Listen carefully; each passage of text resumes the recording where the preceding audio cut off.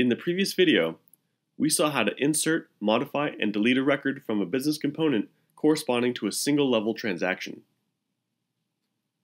Now we'll find it easy to implement the following requirement for the travel agency's back office.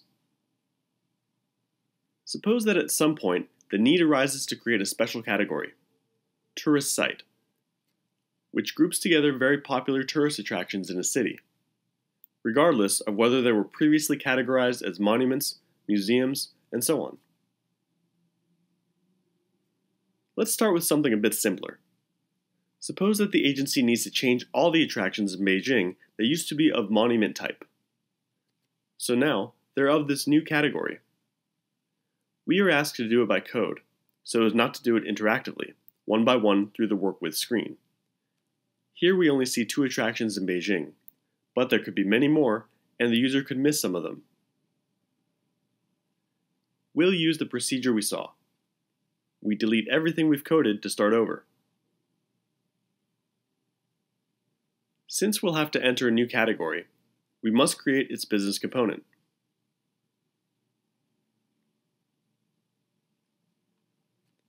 And now define a variable of that data type.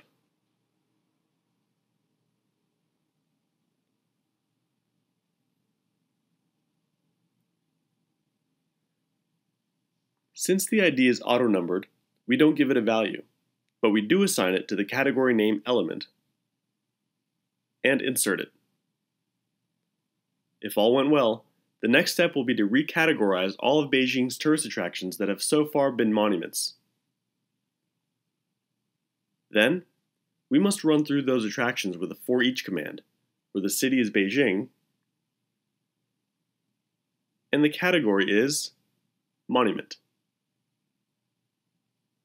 In each iteration of the for each command, we'll be positioned on one of those attractions.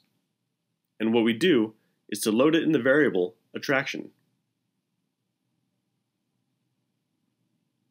Then we change the category for the new one. Note that here we're retrieving the value given by the database when the category was inserted. The ID is auto-numbered. Finally, we change the record in the database triggering all the transaction rules as we saw.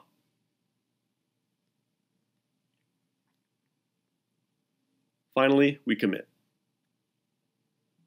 We'll invoke this procedure from a screen. So we remove the output file rule and leave the call protocol and the main program properties with their default values. We're going to create that screen, that panel. It'll be an object of which we'll speak later of the web panel type. Let's call it that. Here we see its web form, which is empty. This is what users will see on their screen at runtime in their browser. From the toolbox, we drag a text block type control it'll show the user a message, a text, in the panel. We include this caption, which indicates that what it's going to do is to insert the category tourist site and change Beijing's attractions. And we drag a button, which will have an associated event of the name do. And we're going to add another button to undo the action. We want to program the code that will be executed when the user clicks on Do. Then, we see that the web panel has an events section, which is where we're going to specify that code. Here we'll invoke the procedure that we had created. We can type it directly, or better yet, to avoid errors, drag it from the KB Explorer. and then add the parentheses. Let's give it a try. F5. Let's look at the categories we've entered so far in the database. There are these three. Now, let's look at the tourist attractions. We're going to reinsert the Chinese wall, which we had deleted in the previous video. If we filter by country China, we see that we have here the two attractions of Beijing, which are of monument type. So, they must be replaced with the new tourist site category when we execute the event code of the web panel.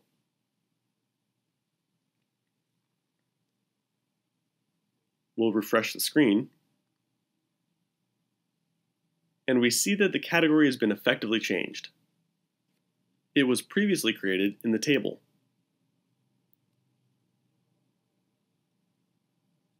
As we mentioned in the previous video, updates by means of business components can be made in almost any object that accepts code. Thus, we could have written directly here the code we had in the procedure, without the need to invoke any other object.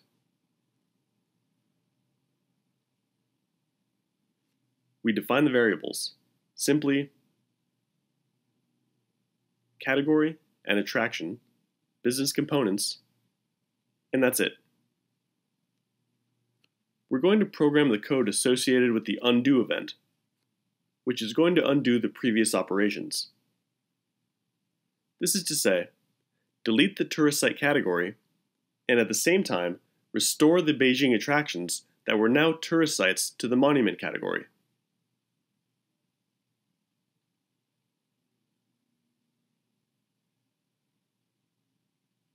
The code will look similar to this. We are running through Beijing's attractions in the tourist site category with a for each command. We're loading the attraction variable, business component, with each attraction found, and we're changing its category ID to monument.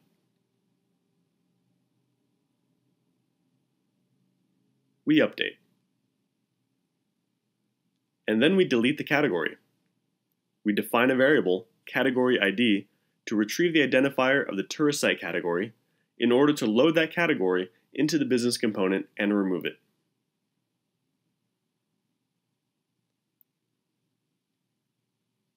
If everything goes well, then we make a commit, and otherwise a rollback. Why do we define this order, that is, to run through the attractions first and then eliminate the category, and not the other way around?